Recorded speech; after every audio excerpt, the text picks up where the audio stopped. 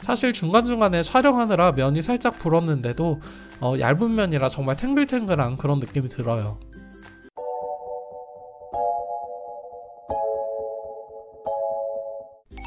안녕하세요 포이입니다. 오늘은 사막라면에서 신상 라면을 보내주셔서 한번 먹어보려고 하는데요. 오늘 먹어볼 라면은 바로 이번에 겨울 신상으로 새로 출시된 삼양 우돈 사골곰탕면입니다. 제가 유튜브에도 라면 리뷰를 여러 번 했지만 삼양라면은 항상 새로운 라면에 도전을 많이 하는데요. 이번에는 겨울을 앞두고 국물에 포커스를 맞춘 라면을 출시한 것 같아요. 일단 우돈이라는 이름 그대로 우사골과 돈사골을 함께 사용한 곰탕라면인데요. 국내산 쌀가루를 함유한 쌀면을 사용해서 조리 시간을 2분 30초로 낮춘 게 특징입니다. 칼로리도 480kcal로 그렇게 높지 않은 편이고요. 나트륨 함량이나 단백질 함량도 참고하세요. 그럼 내용물을 한번 살펴볼까요? 면과 세 가지 스프의 구성인데요. 조리 전에 넣는 분말과 후레이크, 후첨 후레이크로 구성되어 있습니다. 쌀가루 면은 일반 라면에 비해 꽤 얇은 편입니다. 우돈 사골 곰탕면은 국물이 메인이 되는 라면이라 이 스프를 만드는데 공을 많이 들였다고 하는데요. 흑후추가 들어가서 곰탕면 특유의 느끼함을 잡아준다고 해요.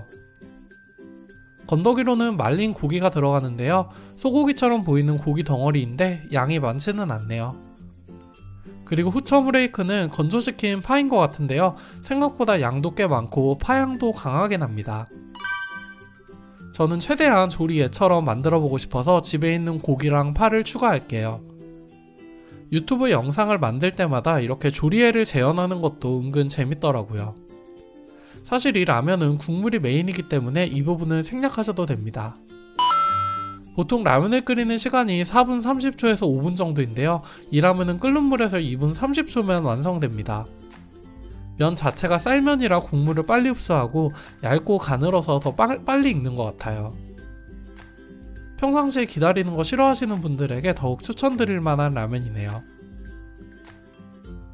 마지막으로 후첨 후레이크를 넣으면 우돈 사골곰탕면이 완성됩니다. 파향이 생각보다 꽤 강하네요. 미리 준비해둔 고기와 파를 곁들여서 오늘의 한상 차림을 완성해봤는데요.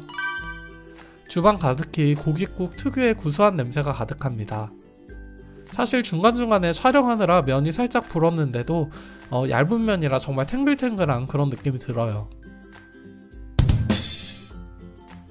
제가 직접 먹어보니까 면 식감이 정말 부드러워서 몇 번 안 씹어도 금방 넘어가고요.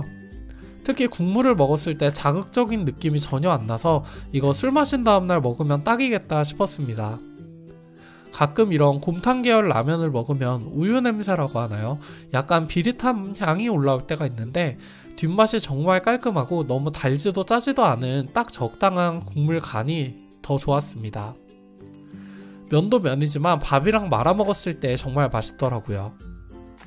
조금 과장을 보태자면 시중에서 파는 설렁탕에다가 간을 삼삼하게 해서 먹는 것 같은 느낌이었어요. 이 정도면 호불호 없이 누구나 좋아할 것 같은 맛입니다. 오늘은 삼양라면의 신제품 우돈 사골곰탕면을 먹어봤는데요. 그냥 먹어도 맛있지만 술 먹은 다음날 해장 겸해서 먹으면 진짜 좋을 것 같은 국물 시원한 라면입니다. 연말에 술자리 자주 있으시잖아요. 집에 이렇게 쟁여두시면 좋을 것 같아요. 오늘도 영상 시청해주셔서 감사드리고요. 저는 다음 영상에서 뵙겠습니다.